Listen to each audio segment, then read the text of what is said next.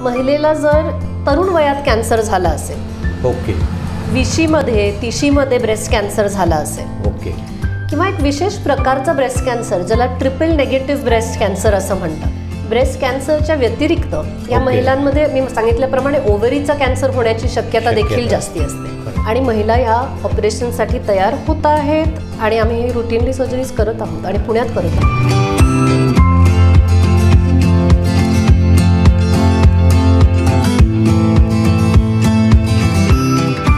नमस्कार. डिजिटल प्रभातच्या या भागांमध्ये आपण चर्चा करत आहोत स्तनविकार तज्ज्ञ डॉक्टर प्रांजली गाडगीळ यांच्याशी. आणि या आधीच्या भागांमध्ये त्यांनी स्तनांचं आरोग्य आणि स्तनांचा कर्करोग याविषयी आजपर्यंत सहसा कोणाला माहिती नसलेली माहिती दिलेली आहे. आणि ही माहिती आपल्या सर्वांना मोठ्या प्रमाणावर उपयुक्तही ठरत आहे. अनेकदा स्तनांचा कर्करोग किंवा कर्करोग असं काही म्हटलं की त्यामध्ये अनुवंशिकता हेरिडिटी किंवा फॅमिली हिस्ट्री अशाविषयी बोललं जातं. तर एखाद्या महिलेला कर्करोगाची फॅमिली हिस्ट्री नसेल तर तिला स्तनांच्या कर्करोगाचा धोका असतो का? हा अगदी महत्त्वाचा प्रश्न आहे. कारण बरेचदा महिलांना वाटतं की कर्करोग म्हणजे एक अनुवंशिक असा आजार आहे. ओके. आता पंच्याऐंशी टक्के स्तनाचे कर्करोग म्हणजे ब्रेस्ट कॅन्सर हे अनुवंशिक नसतात. म्हणजे ओके. एखाद्या महिलेला जेव्हा ब्रेस्ट कॅन्सर होतो बहुतेकदा ती तिच्या कुटुंबियांमधली पहिलीच व्यक्ती असते जिला ब्रेस्ट कॅन्सर झाला आहे. त्यामुळे आपल्याला काहीतरी अनियमितता जाणवतीये गाठ जाणवतीये पण आपल्याला फॅमिली हिस्ट्री नाहीये म्हणजे हा कर्करोग नसणार. अच्छा. हाच मोठा गैरसमज आहे. मला फॅमिली हिस्ट्री नाही आहे मग मी कशाला रेग्युलर तपासण्या करू? बरोबर. हाही मोठा गैरसमज आहे. त्यामुळे फॅमिली हिस्ट्री नाही आहे म्हणून अशा भ्रमात राहू नका की तुम्हाला ब्रेस्ट कॅन्सरचा धोका नाही आहे कारण पंच्याऐंशी टक्के ब्रेस्ट कॅन्सर हे अनुवंशिक नसतात. त्यामुळं या अशा केसेसमध्ये सुद्धा डॉक्टरांचा त्यांनी सल्ला हा तातडीने घेतला पाहिजे. आता काही कुटुंबात असं बघितलं जातं की आईला ब्रेस्ट कॅन्सर होता आणि आता मुलीला देखील झालं आहे ह्याचं नक्की कारण काय असू शकतं? आता मी म्हटलं तसं पंच्याऐंशी टक्के नसतात पण पाच ते दहा टक्के ब्रेस्ट कॅन्सर हे genetic defect hereditary genetic defects okay. मुळे उद्भवतात. जेणेकरून त्याला एक अनुवंशिकता असते. अच्छा. अशा स्पेसिफिक केसेसमध्ये बरेचदा B R C A one आणि टू हे जे. जीन्स आहेत त्याचे अपायकारक जेनेटिक डिफेक्ट्स म्हणजे. ज्याला आपण पॅथोजेनिक जीन म्युटेशन्स किंवा डेलेटरीज जीन म्युटेशन्स असं म्हणतो.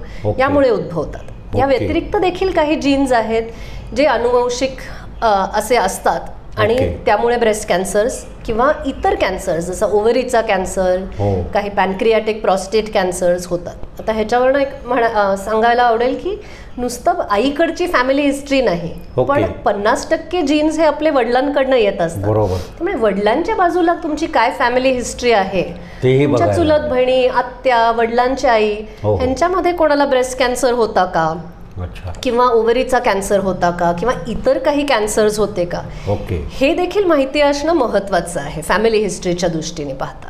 हेरिडिटी किंवा फॅमिली हिस्ट्री हा आपण ज्या वेळेला विचार करतो विशेषतः कॅन्सरच्या संदर्भात त्यावेळेला जेनेटिक टेस्ट ही करावी लागते आणि ती कोणी आणि केव्हा केली पाहिजे? हां. तुम्ही आधी सांगितलेल्या उदाहरणाप्रमाणे एखाद्या महिलेला ब्रेस्ट कॅन्सर आहे तिच्या फॅमिलीमध्ये हिस्ट्री आहे. ओके. अशा केसेसमध्ये आपण आधी जेनेटिक काउन्सिलिंग करून जेनेटिक टेस्टिंगचा सल्ला दिल. देतो आता जेनेटिक टेस्टिंगमध्ये असे हे तीन टप्पे आहेत पहिला. टप्पा म्हणजे प्री टेस्ट जेनेटिक काउन्सिलिंग अच्छा प्री टेस्ट जेनेटिक काउन्सिल हा. खूप महत्त्वाचा मुद्दा आहे हा आणि प्री टेस्ट जेनेटिक काउन्सिलिंग कोणी करावं तर ज्या महिलांना कॅन्सर झाला आहे. त्यांना त्यांनी सर्वांनी ह्या टेस्टची माहिती करून घ्यावी की. काय असते ही जेनेटिक टेस्ट मी. करावी का? आणि ज्या महिलांना कॅन्सर झाला नसेल ओके पण त्यांना फॅमिली हिस्ट्री आहे ओके त्यांनी देखील ह्या टेस्टची माहिती करून घ्यावी. आता जेव्हा आम्ही हे प्री टेस्ट जेनेटिक काउन्सिलिंग करतो त्यात आपण महिलेला झालेल्या कॅन्सरचा अभ्यास तिला कॅन्सर झाला नसेल तर तिच्या नातेवाईकांमध्ये झालेल्या कॅन्सरचा अभ्यास करतो. ती. फॅमिली हिस्ट्री एक पूर्णपणे पेडिग्री चार्टमध्ये मांडतो. बरोबर. यावरनं एक अनुवंशिकतेची खरंच किती शक्यता आहे ह्याचा एक आपण अंदाज बांधू शकतो. अच्छा. त्यावरनं हे ठरवलं जातं की जेनेटिक टेस्ट करावी का? अच्छा. ती करावी तर आधी कोणावर करावी? म्हणजे माझ्यासमोर बसलेल्या व्यक्तीवर करावी का? तिच्या घरी जिला कॅन्सर झाला होता त्या. व्यक्तीवर आधी करावी. टेस्ट करायची झाली तर त्याचे काय फायदे आहेत. काय मर्यादा आहेत? ओके. टेस्टचा रिपोर्ट आला. आणि त्याच्यामध्ये जर जेनेटिक ॲबनॉर्मॅलिटी सापडली तर. तुम्ही त्याचा एक सकारात्मक दृष्टीने कसा वापर करणार आहात? ओके. कॅन्सर मुक्त आयुष्य जगण्यासाठी आपल्याकडे काय असे पर्याय आहेत? हे सगळं आधी समजावून घ्यायच्या गोष्टी आहेत म्हणजे जेनेटिक टेस्ट ही अशी तपासणी नाही आहे की पुढच्या वेळेस मी हिमोग्राम करेन तेव्हा एक ब्लड टेस्टमधनं एक जीन टेस्ट पण करूनच घ्यावी. म्हणजे आता ही तपासणी झाली आहे सोयीस्कर पूर- पूर्वी ज्या तपासण्यांना अगदी अडीच तीन लाख रुपये खर्च व्हायचा आणि हो. अमेरिकेला सॅम्पल जायचं त्या आता इथे सहज उपलब्ध आहेत आम्ही रुटीनली करतो आहे अफोर्डेबल. अशा ह्या तपासण्या आहेत. पण म्हणून हा इम्पॉर्टंट जो काउन्सिलिंगचा टप्पा आहे त्याच्याकडे आपल्याला दुर्लक्ष करून चालत नाही मग एकदा ठरलं की. जेनेटिक टेस्ट करायची आहे. तर. जीन्स शेवटी जे असतात ते आपल्या शरीराच्या सर्व पेशींमध्ये तेच जीन्स असतात. Exactly. त्यामुळे तपासणी जी आहे ते रक्ताच्या सॅम्पलवर थुंकीच्या सॅम्पलवर करता येते. ओके. एकदा जेनेटिक्स लॅबमध्ये ते सॅम्पल गेलं की त्याचा डी एन एचा भाग वेगळा केला जातो. त्या डी एन एचं सिक्वेन्सिंग होतं. ओके. त्याच्यामधनं आलेला सगळा जो डेटा असतो त्याचा आत्तापर्यंत उपलब्ध जे वैज्ञानिक आपल्याकडे नॉलेज आहे त्याच्याशी. त्याचा म्हणजे एक डेटा अनालिसिस करून कंपॅरिझन करून. रेफरन्सिंग करून एक जेनेटिक रिपोर्ट त्याचा निर्माण होतो आणि ती म्हणजे अशी किचकट अशी ही प्रक्रिया आहे. आणि त्याला एक चार आठ आठवडे इतका वेळ पण लागू शकतो बरोबर आहे आणि मग एकदा रिपोर्ट आला. की परत आपण एक म्हणजे हे टेस्ट असे टेस्टचे रिपोर्ट आपण फोनवरती देत नाही. समोरासमोर हो, बसून हो. पेशंटशी चर्चा. करतो एक पोस्ट टेस्ट जेनेटिक काउन्सिलिंग ज्याला म्हणतो तशी काउन्सिलिंग आपण करतो आणि पेशंटला समजावून देतो की हा रिपोर्ट काय आहे त्याचा अर्थ काय त्याचा आपण. कसा वापर करू शकतो ओके.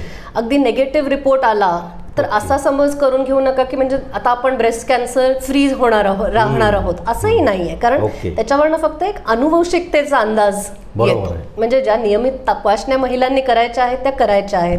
हे सगळे जे बारकावे आहेत ते महिलेला समजावून दिले जातात. महिलेला किंवा पुरुषाला बरोबर आहे. डॉक्टर गाडगीळ तुम्ही आता म्हणालात की फॅमिली हिस्ट्रीच्या केसेसमध्ये जेनेटिक टेस्ट या सुचवल्या जातात. आणि प्री टेस्ट आणि पोस्ट टेस्ट काउन्सिलिंग हे त्यामध्ये अतिशय महत्त्वाची भूमिका बजावतात तुमच्या पुणे ब्रेस्ट केअर सेंटरमध्ये हे जेनेटिक काउन्सिलिंग टेस्टिंग केलं जातं आणि मग ह्या गोष्टीचा सल्ला तुम्ही कोणाला करण्यासाठी देता? सो जेनेटिक काउन्सिलिंग करणाऱ्या ज्या व्यक्ती आहेत त्या दोन गटांमध्ये आहेत. ओके. एक ज्या व्यक्तींना स्वतःला कॅन्सर झालेला आहे. ओके आणि एक ज्यांना स्वतःला कॅन्सर झाला नाही आहे पण त्यांना फॅमिली हिस्ट्री आहे. अच्छा. आता ज्या महिलांना स्वतःला कॅन्सर झाला आहे असं मी मी म्हणेन की त्यांनी सर्वांनीच या टेस्टची माहिती निदान करून घ्यावी. ओके की त्यांच्यासाठी ती योग्य आहे का आणि ती. करावी का? ओके आणि एक काहीतरी अनुवंशिकता त्या महिलेच्या कॅन्सरला कारणीभूत आहे. ओके असा संशय कधी येतो? तर महिलेला जर तरुण वयात कॅन्सर झाला असेल ओके. विशीमध्ये तिशीमध्ये ब्रेस्ट कॅन्सर झाला असेल ओके. किंवा एक विशेष प्रकारचा ब्रेस्ट कॅन्सर ज्याला ट्रिपल नेगेटिव्ह ब्रेस्ट कॅन्सर असं म्हणतात. Triple negative. हां ट्रिपल नेगेटिव्ह हा एक ब्रेस्ट कॅन्सरचा प्रकार आहे. ओके. तसा ब्रेस्ट कॅन्सर झाला असेल आणि महिलेचं वय साठ वयाच्या आतलं असेल. ओके. एकाच महिलेला जर दोन्ही स्तनात ब्रेस्ट कॅन्सर झाला असेल हो हो हो. किंवा काही वर्षापूर्वी ब्रेस्ट कॅन्सर एकदा होऊन ट्रीटमेंट संपूर्ण झाली असेल पूर्ण झाली असेल किंवा ओव्हरीचा कॅन्सर होऊन ट्रीटमेंट पूर्ण झाली असेल. आणि आता एक नवीन कॅन्सर उद्भवला आहे. बर. दुसऱ्या स्तनात असेल ओव्हरीमध्ये असेल. ओके. त्या महिलांनी देखील जेनेटिक काउन्सिलिंग करून घेतलं पाहिजे. आणि हो. महिलांनीच नाही तर पुरुषांना जेव्हा ब्रेस्ट कॅन्सर होतो हो. किंवा एखाद्या महिलेला अशी फॅमिली हिस्ट्री असेल की मामाला ब्रेस्ट कॅन्सर होता हां. काकांना ब्रेस्ट कॅन्सर होता ओके. तर तीही फॅमिली हिस्ट्री इम्पॉर्टंट आहे. अच्छा. अशा सर्व केसेसमध्ये आपण जेनेटिक काउन्सिलिंग करून टेस्टिंगचा सल्ला देतो. आता ही टेस्ट करून जर असा जेनेटिक दोष सापडला तर? तर सी जीन्स आपले जे असतात ते असतात. जेनेटिक रिपोर्ट मी असं म्हणणार नाही की एक वाईट जेनेटिक रिपोर्ट असतो आणि एक चांगला असतो. हो बरोबर जे जीन्स तुमचे आहेत ते आहेत. त्याविषयी जर तुम्हाला माहिती मिळाली ओके. तर तुम्ही त्याचा कॅन्सरमुक्त आयुष्य जगण्यासाठी कसा वापर करणार आहात? आणि आजच्या तारखेला आपल्याकडे ती साधनं आहेत. हो. तर आता एखाद्या महिलेमध्ये म्हणजे सर्वात कॉमन जे मी म्हटलं की BRCA one and two mutations BRCA Okay. जीन्समधले म्युटेशन हे सर्वात सामान्य आहेत सर्वात कॉमन असे आढळतात. आणि असा जर अपायकारक जेनेटिक डिफेक्ट असल्याची केस समोर आली. आणि महिलेला स्वतःला कॅन्सर झालेला नाही आहे ओके अशा महिलांमध्ये त्यांना कधीतरी आयुष्यात ब्रेस्ट कॅन्सर होण्याची शक्यता ही इतर महिलांपेक्षा खूप जास्त असते. अच्छा. आणि म्हणजे ती शक्यता अगदी म्हणजे साठ ते ऐंशी टक्के इतकी असू शकते. बर. त्या महिलांमध्ये ओव्हरीचा कॅन्सर होण्याची शक्यता चाळीस ते साठ टक्के इतकी जास्ती असू शकते. हो हो हो. म्हणजे ते महिलेच्या वयानुसार वयावरती अवलंबून असतं तिच्या डिटेल फॅमिली हिस्ट्रीवरती अवलंबून असतो. पण अंदाज बांधायचा झाला तर ही शक्यता खूप जास्त आहे. इतर. महिलांपेक्षा. आणि आता ही शक्यता आपण कमी कशी करू शकतो? ओके तर आता इतकी जास्ती शक्यता असताना नुसतं एक वार्षिक एक मॅमोग्राफीला ह्या असं म्हणणं अयोग्य आहे. बरोबर आहे. तर अशा महिलांमध्ये आपण ब्रेस्ट स्क्रीनिंगसाठी. दर सहा महिन्याला तपासण्या करतो. ओके आणि मॅमोग्राफी आणि ब्रेस्ट एम आर आय ह्या दोन तपासण्या आलटून पालटून दर दर सहा महिन्याला केल्या जातात. कारण ती फॅमिली म्हणजे फॅमिली हिस्ट्रीमुळे ही जेनेटिक रिस्क जी आहे ती खूप जास्त असल्यामुळे बरोबर. तपासण्यांची फ्रिक्वेन्सी वाढवावी वाढ- लागते. वाढवावी लागते. ओके. आता ह्या ज्या तपासण्या आहेत. त्यांच्यामुळे आपल्याला हे माहिती आहे की ब्रेस्ट कॅन्सरचं निदान वेळेवर होऊ शकतं आणि त्याच्यामुळे होणारी जीवहानी टाळता येते. बरोबर. पण कॅन्सर टाळता येत नाही. म्हणजे नुसत्या तपासण्या करून कॅन्सर होणार नाही असं नाही आहे कॅन्सर. होईल तो वेळेवर निदान होईल. पण कॅन्सर टाळण्यासाठी आपल्याकडे आजच्या तारखेला सर्वात म्हणजे श्रेष्ठ जे एक ऑप्शन आहे ते म्हणजे प्रिव्हेंटिव्ह सर्जरी करेक्ट आता प्रिव्हेंटिव्ह सर्जरी असं काहीतरी ऐकल्यावर महिलांना वाटतं की अरे हे काहीतरी हॉलिवूडमध्ये अँजेलिना जोलीच करू शकते.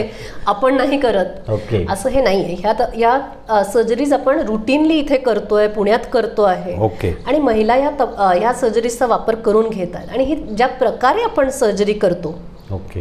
ती एक ब्रेस्ट रिप्लेसमेंट सर्जरी असल्यासारखा सारखं हे ऑपरेशन आहे. म्हणजे.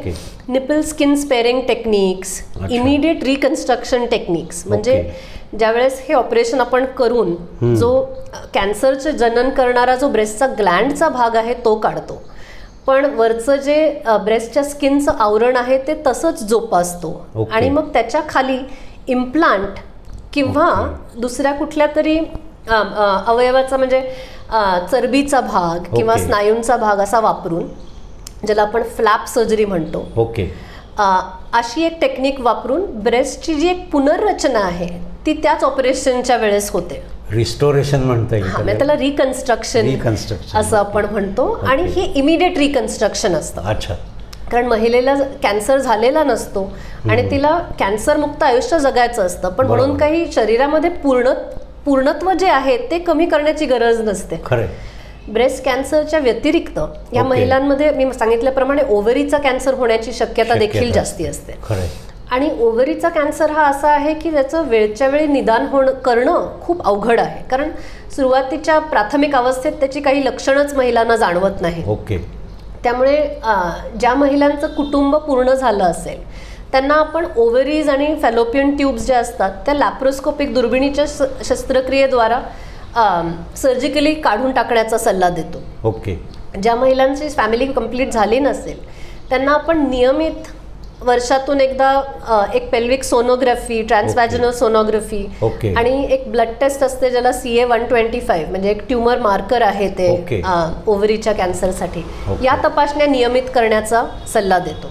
ज्या महिला ज्या महिलांना म्हणजे ह्या सर्जरीज आत्ताच्या घटक्याला करणं शक्य नाही आहे ओके. त्यांना आपण हे स्क्रीनिंग टेस्टचा एक ऑप्शन देतो ओके. आणि काही महिलांमध्ये आपण काही औषधं देऊ शकतो ओके. जेणेकरून ह्या कॅन्सर रिस्क होण्याची शक्यता काही प्रमाणात. कमी होते पण ती पूर्णपणे जात नाही ओके असे हे सर्व जे ऑप्शन्स आहेत पर्याय आहेत बरोबर त्या डिटेल ते डिटेलमध्ये महिलांना समजावून दिले जातात ओके आणि मग काय नेमकं करायचं? हा शेवटी त्या महिलेचा एक वैयक्तिक स्वतःसाठी घेतलेला. निर्णय असतो. बरोबर आपण अँजेलिना जोलीचं उदाहरण दिलं की अगदी प्रगत देशांमध्ये किंवा युरोप अमेरिकेमध्ये हा. अवेअरनेस असतो. भारतामध्ये अजून त्या बाबतीतला अवेअरनेस आपल्याला दिसत नाही. पण मला एक सांगा आपल्याला कॅन्सर झालेला नसताना आपल्याकडं महिला प्रिव्हेंटिव्ह सर्जरीसाठी तयार होतात का? होतात. आणि ह्या सर्जरीज आम्ही रुटीनली करत आहोत. ओके. आणि ह्याचं कारण म्हणजे की ज्या महिला जेनेटिक टेस्टिंगसाठी येत आहेत ओके. त्यांना कॅन्सर नाही आहे ओके. त्यांनी आपल्या फॅमिलीमध्ये परिवारामध्ये कॅन्सरला खूप जवळून पाहिलेलं असतं. क्या बात आहे. बरोबर. आहे. नातेवाईकांचे अनुभव हो. त्यांच्या नातलगांचे अनुभव कॅन्सरमुळे झालेली जीवहानी पण त्यांनी बहुतेकदा पाहिलेली असते. आणि आता म्हणजे शेवटचं मी एक रिसेंटली जे एक ऑपरेशन केलं तर त्या महिलेला दोन लहान मुलं आहेत. ओके. तिच्या आईचं निधन कॅन्सरमुळे झालेलं होतं. बरोबर. धाकट्या बहिणीचं निधन कॅन्सरमुळे हो. झालेलं होतं. आणि तिने ठरवलं की नाही म्हणजे मी हे बदलणार आहे. ओके. म्हणजे ही एक माझा एक फेट आहे किंवा नशीब आहे. असं नाही आता मला ह्याची माहिती मिळालेली आहे. ओके. आणि मला एक नॉर्मल आयुष्य जगायचं आहे. बरोबर. आणि त्यासाठी जर मी प्रिव्हेंटिव्ह सर्जरी आजच्या तारखेला करून घेऊ शकते ओके. आणि माझा स्वतःचा बचाव ह्या आजारातून करून घेऊ शकते की जेणेकरून मी सर्जरी करून घेईन पण निदान मला पुढे किमोथेरपी रेडिएशन या ट्रीटमेंट्स सामोरं तरी सामोरं जावं लागणार नाही. म्हणजे. निदान त्याची शक्यता जी काही मिनिमल करता येईल ती मी आजच्या तारखेला करू शकते. तर मी ती करणार आहे. आणि महिला ह्या ऑपरेशनसाठी तयार होत आहेत आणि आम्ही ही रुटीनली सर्जरीज करत आहोत आणि पुण्यात करत आहोत. ही खूप चांगली गोष्ट आहे की प्रिव्हेंटिव्ह सर्जरी करणं आणि आपला बचाव या जीवघेण्या आजारापासून करणं किंवा नंतरच्या केमोथेरपीपासून बचाव करून घेणं ही जागरूकता आज महिलांमध्ये येते हो. हे अतिशय उल्लेखनीय आहे. पण मला एक सांगा पालकांमध्ये हा जेनेटिक डिफेक्ट सापडला तर मुलांची चाचणी नक्की कधी करावी? हे जे कॅन्सर्स आहेत ब्रेस्टचा कॅन्सर ओव्हरीचा कॅन्सर. आणि ज्या पुरुषांमध्ये हे ब्रॅका जीन डिफेक्ट्स असतात त्यांना प्रॉस्टेटचा कॅन्सर हो. आणि ब्रेस्ट कॅन्सर ओके. होण्याची शक्यता वाढते. बरोबर. आणि ही जी रिस्क आहे ती म्हणजे तुमच्या मुलांमध्ये येण्याची शक्यता ही ऑलमोस्ट म्हणजे फिफ्टी फिफ्टी पर्सेंट असते. प्रत्येक मुलामध्ये हा म्हणजे अपायकारक जेनेटिक डिफेक्ट येण्याची शक्यता एक पन्नास टक्के असते. पण हे कॅन्सर्स जे आहेत ब्रेस्टचा कॅन्सर ओव्हरीचा कॅन्सर प्रॉस्टेटचा कॅन्सर ओके. हे कॅन्सर्स लहान मुलांमध्ये होत नाहीत. हो. म्हणजे त्याचं जे वय आहे ते पुढील वयात होणार आहे. प्युबर्टी नंतर नाही म्हणजे नंतर. adult. त्यामुळे मुलांचं वय एक अठराच्या पुढे झालं ओके. की मुलांनी स्वतः समजावून घ्यायचं आहे ओके.